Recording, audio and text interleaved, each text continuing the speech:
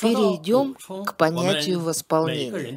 Надо помнить, что ежедневный рабочий режим и нагрузка у каждого человека разные. Когда мы спокойны, то достаточно спим и регулярно питаемся. Но когда на нас внезапно сваливается срочная рабочая задача, мы начинаем волноваться, питаться неразумно. Или у нас вообще нет времени на восполнение энергии питательных веществ. В подобной ситуации обязательно нужно следить за структурой питания и через нее стабилизировать свое состояние. Нельзя допускать, чтобы внезапные нагрузки на работе или неожиданные происшествия приводили в беспорядок наш режим питания и настроения. Мы должны давать достаточное питание организму. Но существует и другая сторона проблемы. При большой доступности разнообразных лакомств возникает соблазн съесть очень много. Употребление чрезмерного количества пищи удовлетворяет только центры наслаждения в мозге. Рот радуется, нам вкусно, языку приятно, на кончике сладко, у корня горько, по двум сторонам кисло, а в середине солено. Так вкусы ощущаются на языке. За красиво накрытым столом, истощающим аппетитные ароматы, очень легко увлечься и переесть.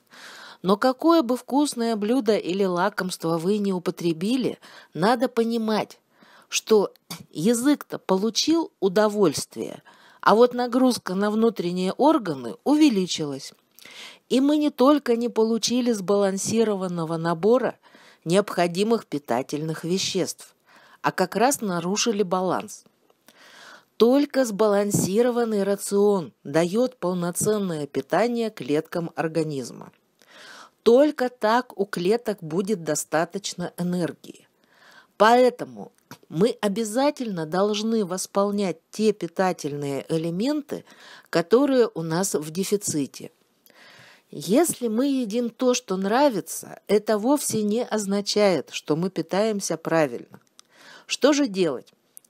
Четко определить особенности своего рациона, понять, каких питательных веществ не хватает – и восполнить их за счет приема соответствующих БАДов. Например, спирулина – это очень хороший и по содержанию необходимых элементов сбалансированный продукт. Неважно, какую пищу вы едите, чтобы удовлетворить свои пристрастия или аппетит.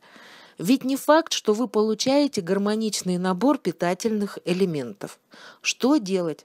Принимайте по 6 капсул спирулины в день дополнительно к пище.